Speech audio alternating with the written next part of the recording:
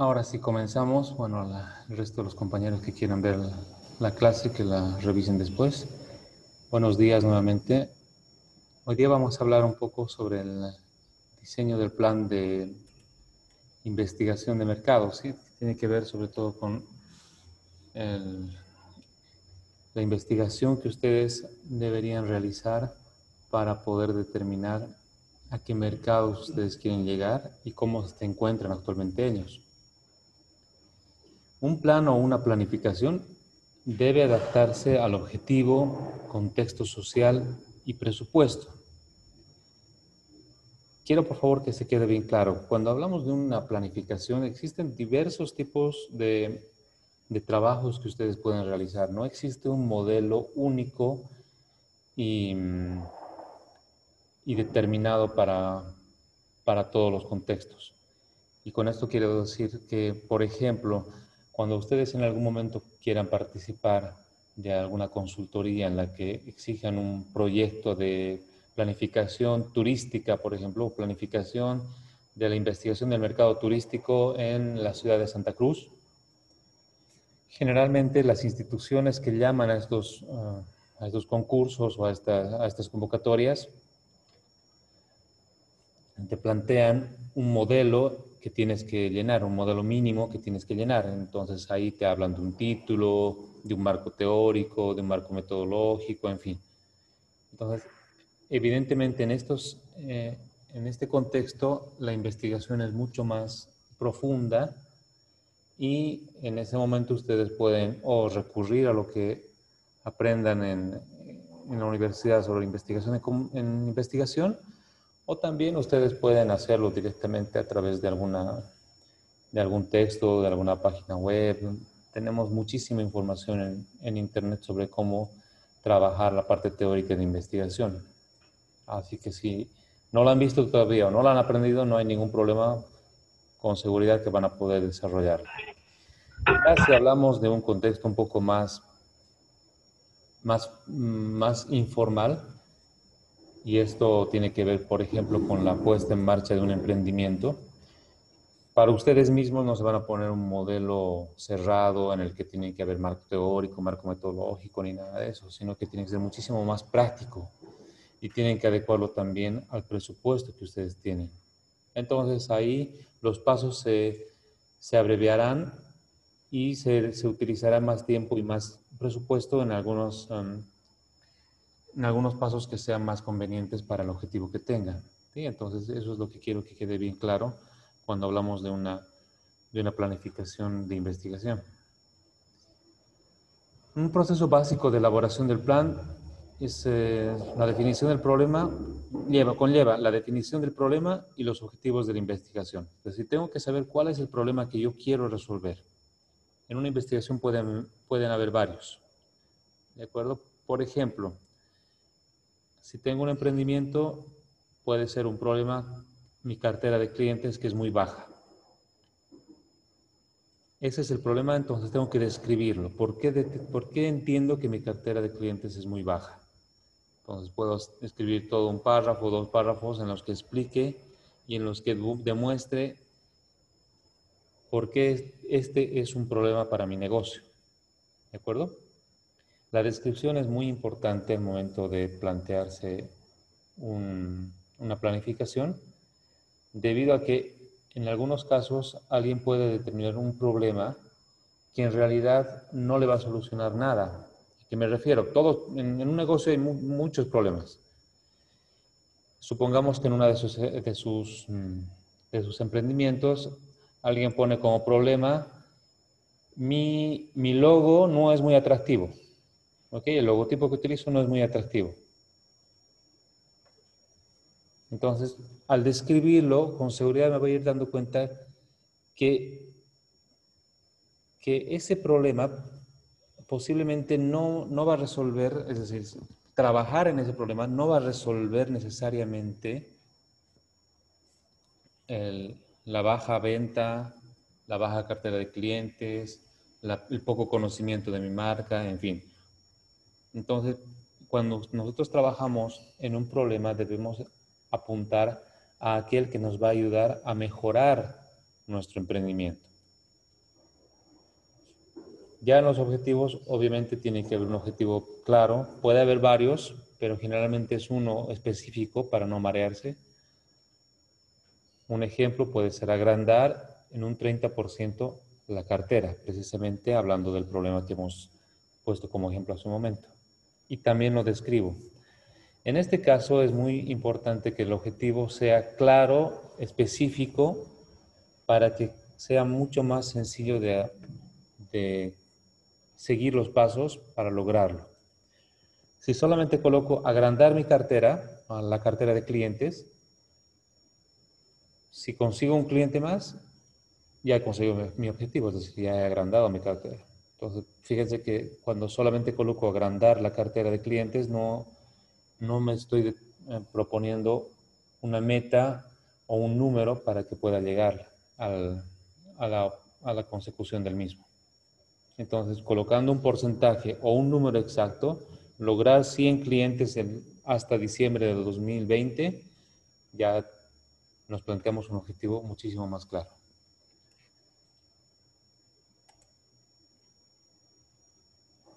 Hasta acá, a ver, uno de los últimos que ha entrado. Kenny. Pregunta. Mm, buen día, Liz. Buenos días.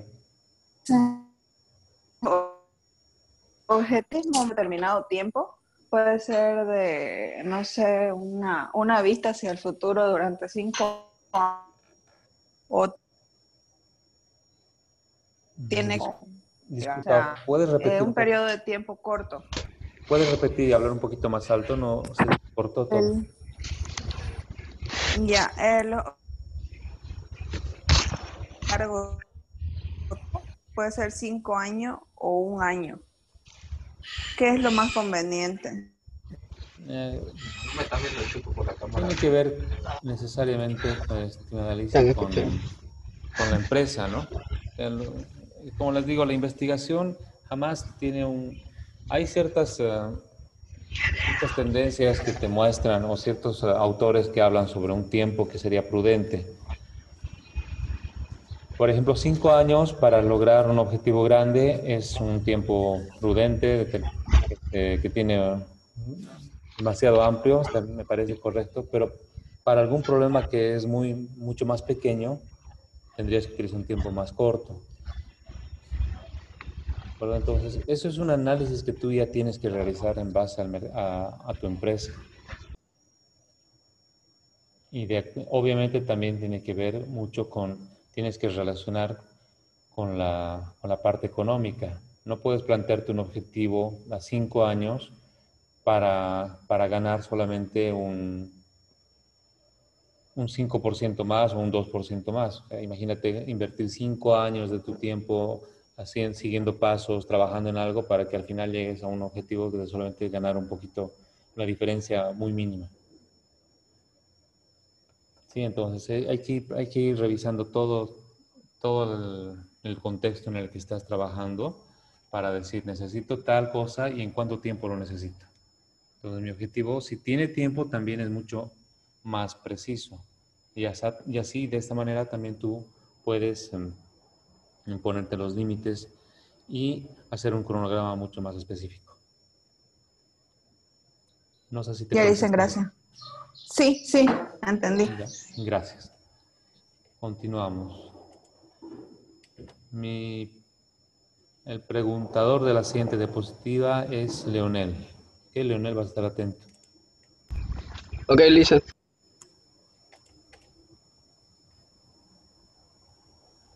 Otra parte del diseño de la, de la investigación es determinar qué información se necesita, el cómo, cuándo y dónde obtenerla.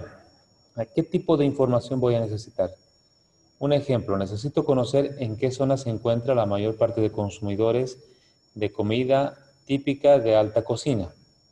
Entonces, estoy hablando de gente que sabe o conoce o invierte dinero para ir a consumir comida típica, pero cuando hablo de alta cocina me refiero a preparada por chefs o con ingredientes especiales y no de cualquier persona que solamente mm, comería o pagaría por un plato de 15, 20 bolivianos, ¿no? Estoy hablando realmente de alta cocina. Entonces, ese es un ejemplo. Necesito conocer en qué zona se encuentra. Entonces, estoy determinando la información que requiero. ¿Cómo lo obtengo? Hay varios métodos, hay varios, varias herramientas donde puedo recurrir. Pueden ser unas encuestas, pueden ser libros, como habíamos visto el otro día en el video, libros ya especializados que nos dicen exactamente, que nos dan la información que necesitamos, estudios ya realizados, estadísticas que se encuentran ya también trabajadas, algunas revistas del rubro, o también puede ser a partir de la observación. ¿sí? En ninguna de estas es que si uno usa una, el resto ya no sirve, sino que pues, se pueden combinar todas incluso, dependiendo mucho del tiempo que ustedes tengan para realizar la investigación. ¿Cómo lo obtengo? Perdón, ¿cuándo lo obtengo? Entonces acá es donde delimito el tiempo, ¿no? Delimito mi investigación a tres semanas a partir del lunes 14 de septiembre bajo el siguiente cronograma. En este caso estoy delimitando la investigación. Fíjense que no estoy hablando todavía de resolver el problema, estoy hablando de la investigación. Por eso hablo de tres semanas, un mes, dos meses.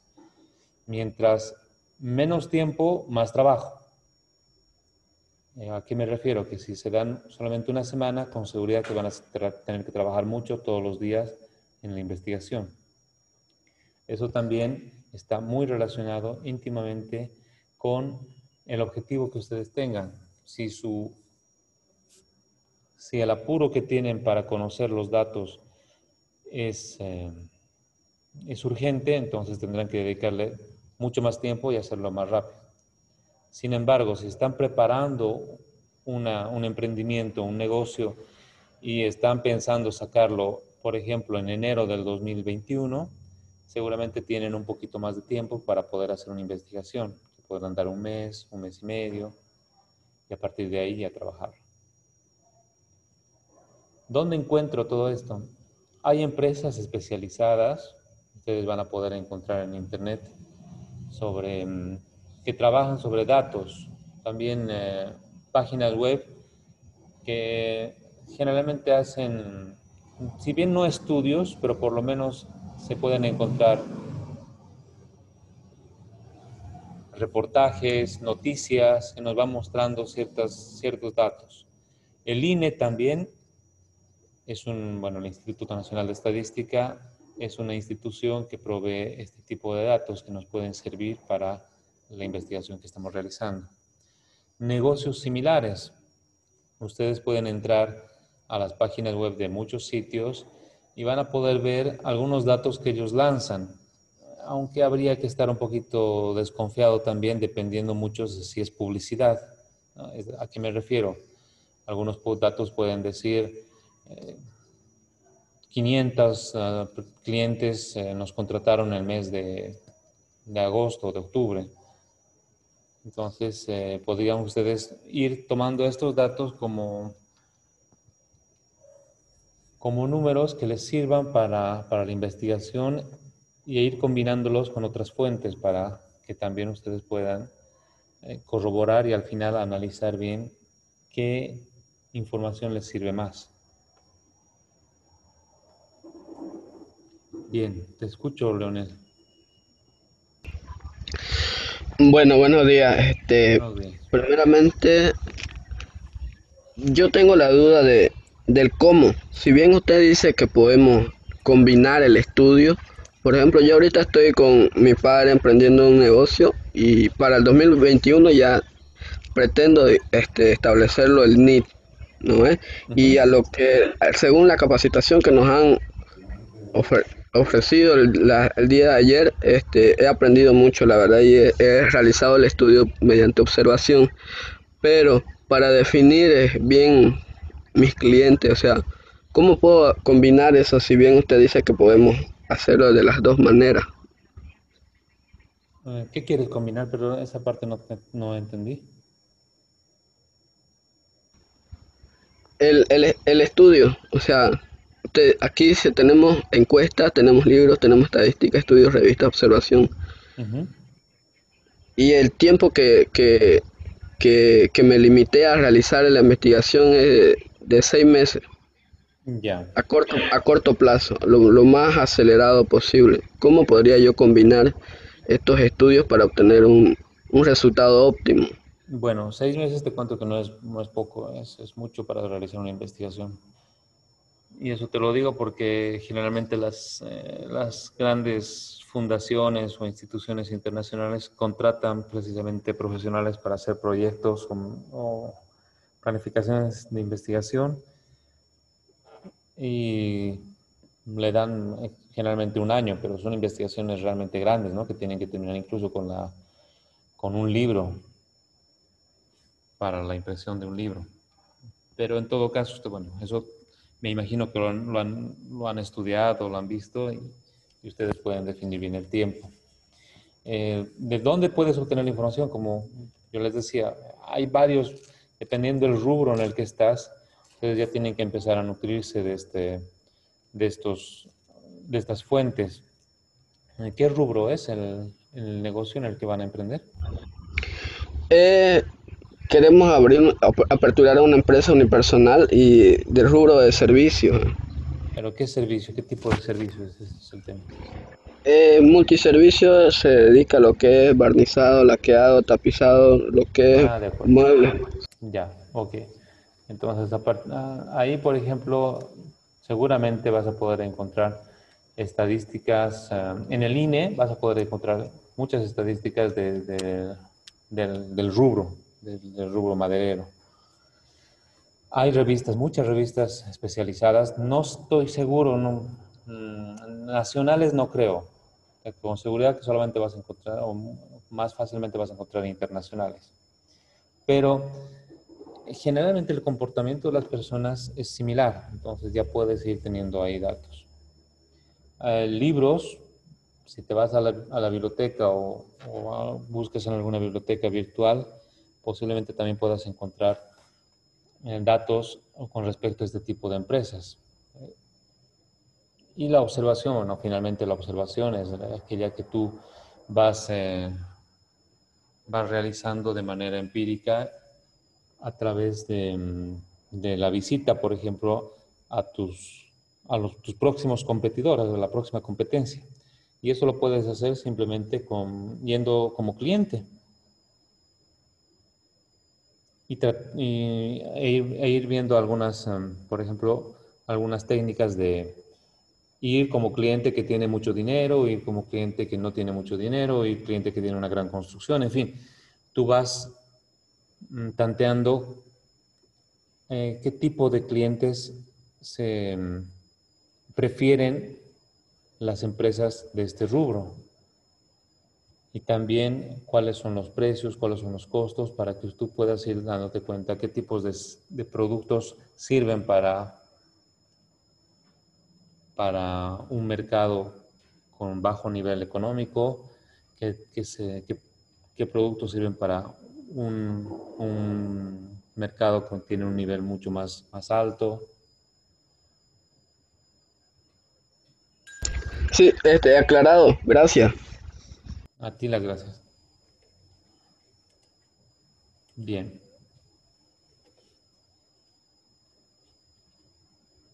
Continuemos. La siguiente va a ser Mateo, ¿me escuchas?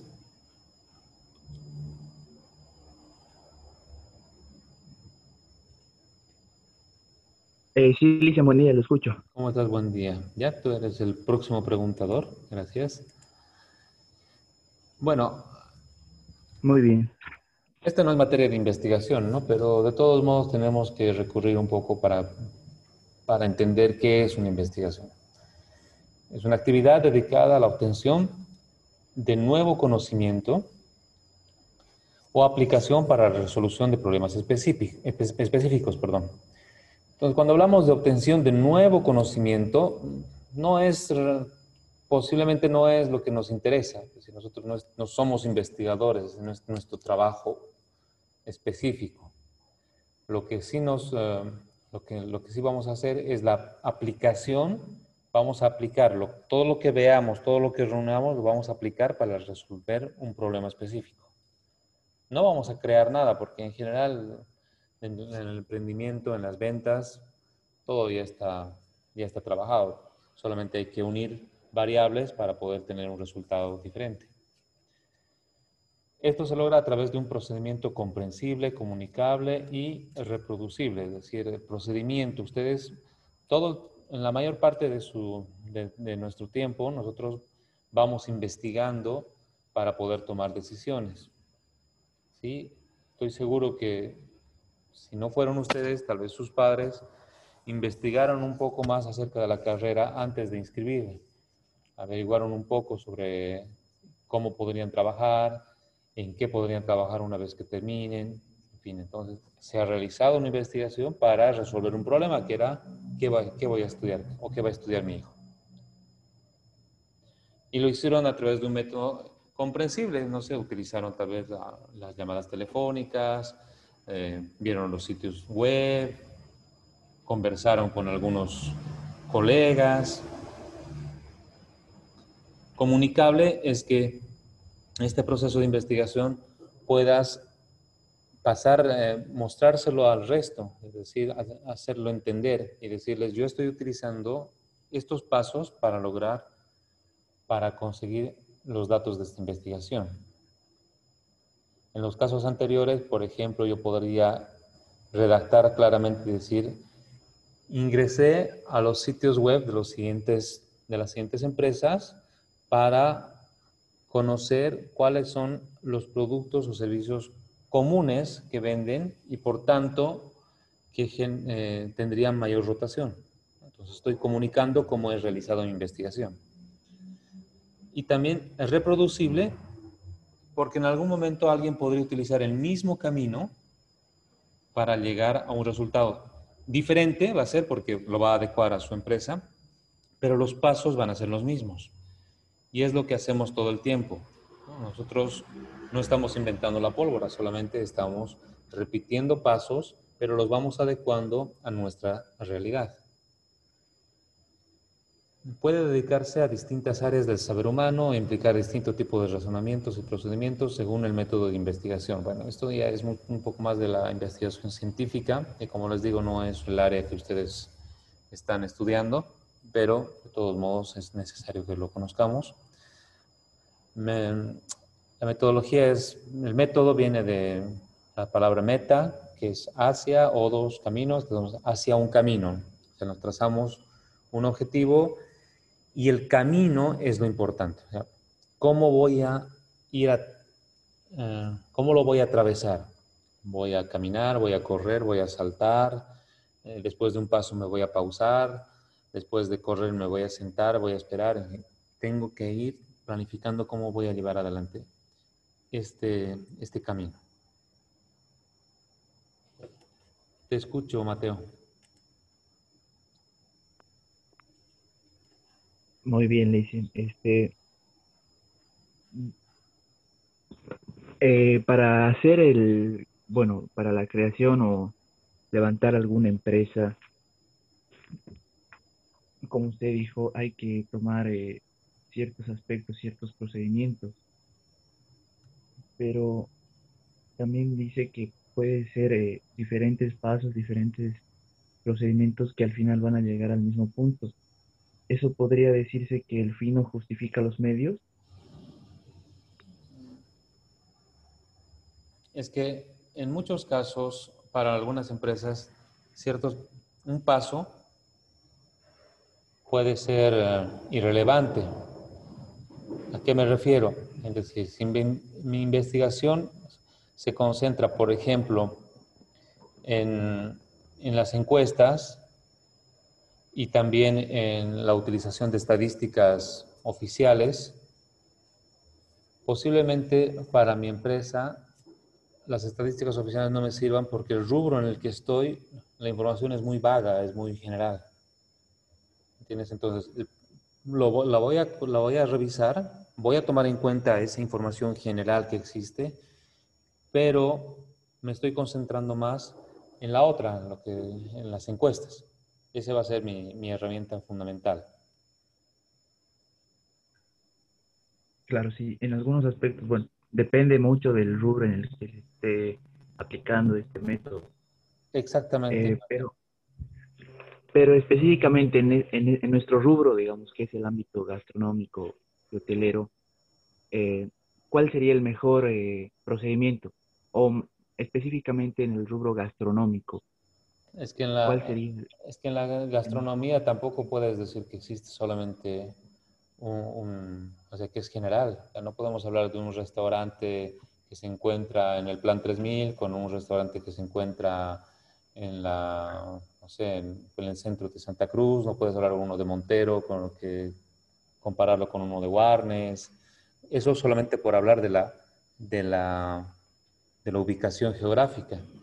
Luego está el, el tipo de servicio que vas a brindar, el tipo de comida que, al que te vas a dedicar, el ambiente que vas a ofrecer. Fíjate que ya ahí comienzan a desmarcarse y a, a, convertirse en cada, cada, cada, emprendimiento comienza a ser muy, muy diferente. Todos venden comida, ese es el objetivo, pero es, es como les decía hace, hace em, en clases anteriores, cuando hablamos de un emprendimiento es como hablar de una persona. Si en este momento somos dos, cuatro, somos cinco personas que estamos en línea. Si nos hacemos una pregunta sobre gustos, más allá de que todos tenemos dos manos, todos tenemos dos ojos, todos tenemos una nariz, todos, todos eh, dormimos por la noche, todos, eh, no sé, estudiamos, nuestros gustos van a ser completamente diferentes. Vamos a encontrar una variedad de, de respuestas que no necesariamente alguna es correcta sino cada una se va a adecuar a la realidad que vive cada, persona. Por eso que la, la capacidad analítica que ustedes vayan a obtener a lo largo de sus años de estudio es muy importante. No solamente se dejen llevar por modelos, y esa es una mala costumbre que yo encuentro en la universidad, eh, bueno, en los universitarios en general, y me incluyo, porque yo también exigía eso, quieres que te den modelos, quieres que te digan qué es lo mejor, qué es lo más importante, cuando en realidad en estos casos es cada uno lo que, tiene que elegir. Imagínate que en este momento yo les dijera, tienen que dedicarse a la gastronomía porque es lo mejor en este momento. Turismo y, y hotelería no sirven o están de, baja, no les va a dar buenos resultados. Alguno dirá, pero a mí me interesa más esto, en los gustos, no tengo vocación para lo otro. Entonces, no puedo generalizar, jamás va, va a servir para, ni para emprendimientos, ni tampoco para personas. Por eso que es útil, útil que ustedes trabajen mucho en su capacidad analítica, que puedan entender cómo está el, la coyuntura social, la coyuntura política, la coyuntura en este caso sanitaria, por ejemplo, hablamos del presente, para el momento en el que ustedes puedan lanzar su emprendimiento. Muy bien, Licen. Y bueno, no sé si estoy siendo reiterativo, pero para terminar, este, ¿habría algún factor común, teniendo en cuenta todos los aspectos que ha mencionado de diferentes, se podría decir, eh, lugares ubicados o algo, diferentes tipos de comida que se pueda llegar a ofrecer pero habría algún factor común en todos esos aspectos que acaba de Eso que el factor común en, cuanto tienes que a la venta a la venta de productos gastronómicos o al, levantamiento de una empresa gastronómica. La calidad, me imagino, pero no solamente en lo gastronómico, en todo lado, ¿no? La calidad, esos sí son estándares que, por ejemplo, te van fijando las normativas, eh, han debido, no sé si han estudiado, ya pasado la carrera, esa, la materia, perdón, de las normativas ISO, ISO 9000, no sé, de calidad. Eh, sí, sí, sí. sí. Fíjense que en esas normativas les van exigiendo muchas cosas y que no todas las empresas pueden cumplir. Pero que cuando una vez que lo obtienes, ya lo puedes utilizar incluso como marketing, porque demuestras que tienes, que has pasado todas esas etapas para poder obtener esta certificación. Y estas nos hablan de calidad, de higiene, de ética, de responsabilidad social, en fin, de varios aspectos que hacen mejor o demuestran realmente el profesionalismo que maneja una empresa. Ahí también podría, eh, podría incluirse eh, la calidad de, del producto y la calidad de servicio de atención al cliente, ¿verdad? Sí, efectivamente. Y todo eso se, maneja a través de, este tipo de certificaciones. Hacen encuestas a clientes, te hacen encuestas, te piden documentación anterior, te piden que, crees formularios. Es un trabajo, ese, trabajo, por ejemplo, generalmente dura seis meses, un año, de todas las empresas para lograr una certificación así. Pero, por ejemplo, esa clase de, de ese certificado, dudo que un emprendimiento mediano lo pueda obtener. Porque realmente es una inversión muy grande también. No solamente es una cuestión de, calidad y de atención. Porque te exige muchísimas cosas. Pero en, términos generales, la calidad, la atención, el profesionalismo, en fin, digamos que es lo común, pero a nivel general, ¿no? de las empresas yo no me animaría a decir que existe algo común para, para, todos los restaurantes. Y, solamente ponte a pensar tú en cuáles son tus gustos, cuáles son los gustos de tu hermano, de tu hermana, de tu papá, de tu mamá. te vas a dar cuenta que aunque, sean, aunque vivan en la misma casa, cada uno difiere de sus gustos en cuanto a comida. Entonces, en cuanto a restaurantes también, me imagino, a productos. Entonces, hay mercado para todo. Solamente que hay que saber identificar cuál es mi mercado. Correcto, Licen, sí. Muchas gracias. De nada, a ti las gracias. A ver, vamos ya terminando. Aquí les voy a hablar rápidamente de los métodos de investigación, que he visto que son algunos, les estoy mencionando solamente tres, que en realidad esta no es mi intención de que nos, nos trabemos en algo teórico. Un método de investigación es necesario para, para mostrar precisamente la, cómo estoy llevando adelante mi investigación. Existe el método lógico deductivo, que a partir del general eh, deduzco algo particular. Un ejemplo, si el consumo de alcohol es mayor en el sexo masculino, por ejemplo, a nivel mundial, entonces asumo que también lo es en Santa Cruz. ¿sí? Pero fíjense que esto no es una, no es una afirmación, sino es, mi, es la afirmación de entrada. Estoy trabajando con esta, con esta hipótesis y a partir de ella voy a empezar a hacer mi investigación para corroborar si efectivamente también en Santa Cruz la mayor, el mayor consumo de, alcohol se da, es de parte del sexo masculino. Pero tengo que partir de algo. Y todos partimos de una, de una hipótesis varios de ustedes en sus trabajos eh, me han ido mostrando, por ejemplo, o han, ido hablando en las entrevistas que he tenido con ustedes, que las redes sociales son lo mejor para poder promocionar sus empresas o para poder obtener también información a través de las, eh, del mercado. Podemos, podemos, partir de esa hipótesis y en el, en el transcurso de la investigación ver si realmente es así. Otro método, el, inductivo, que es al revés, ¿no? Lo tomo algo particular y asumo que es general. Un ejemplo puede ser, una de las mejores agencias turísticas de Santa Cruz utiliza de manera privilegiada Instagram, ¿ok? Entonces, por lo cual deduzco que esta red es la más útil para este rubro. Y ahí te puedes, eh, ustedes pueden ir eh, asumiendo que el trabajo que van haciendo las buenas empresas del área para entender cuál es el público o a través de qué medios se dirige a sus clientes. Como les digo, esto es una base que nos va a permitir empezar y después vamos a confirmarla o negarla. Posiblemente al final de la investigación digamos, no, esta, esta agencia lo había utilizado Instagram solamente porque su dueño, a su dueño le gusta, ¿no? Pero en realidad Instagram no sirve para, para las empresas turísticas. Método hipotético deductivo. Se trata del método que parte de una hipótesis ¿sí? o una explicación inicial para luego obtener conclusiones. Bueno, se basa en pues, lo que dice, ¿no? Parto de una hipótesis, los compradores de mis productos son profesionales. ya a partir de la investigación voy a poder comprobar o no si es que realmente los clientes que vienen a mi empresa son, son en la mayoría profesionales, es decir, tienen títulos, o por el contrario, es un público más amplio y no solamente está eh, mm, apuntando a este tipo de personas.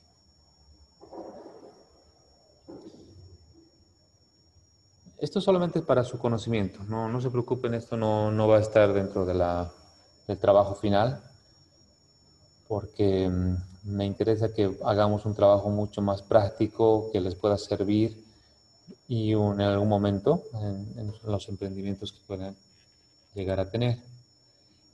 Por si acaso, el examen del primer... Em, ah, perdón, antes de terminar esto, ¿hay alguna consulta con lo último que dije?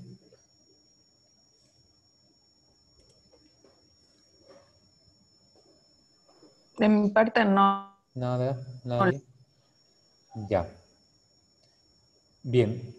Eh, ya les he dado la segunda parte del trabajo. La tienen que presentar, por favor, hasta el domingo. ¿Sí? Y la última, tenemos esta semana para ese trabajo. La siguiente va a haber un trabajo también que no va a ser muy grande, va a ser relativamente pequeño, pero que también va a tener puntaje. Eso les voy a explicar el día lunes. Y el día miércoles 23, por si acaso, es nuestro examen, ¿ya? El examen evidentemente va a ser teórico, ¿de acuerdo? Porque lo tengo que realizar a través de la plataforma Moodle y también tenemos que cubrir una parte teórica y la práctica. Pero ya les había dicho que yo le voy a dar mucho más puntaje a la práctica, así que el examen del primer, de la primera evaluación vale solamente 10 puntos. Yo les voy a pasar un documento o, una, o una, un artículo que sea un poco más completo sobre la materia y a partir de ese, de ese texto va a ser el examen. Entonces van a tener el tiempo suficiente para leerlo, para estudiarlo y yo les voy a lanzar las preguntas, como les digo, el día del examen, que les va a ser realmente, si lo han leído y lo estudian, sencillo. Y para el resto del, puntaje, como les digo, por favor, realicen los trabajos. No sé si hay alguna duda, se va a acabar esto en unos segundos más. ¿No? ¿Está bien? Ok. Bien, chicos, voy a dejar grabada la clase por si acaso, si es que quieren revisar algo y si tienen alguna duda, me escriben.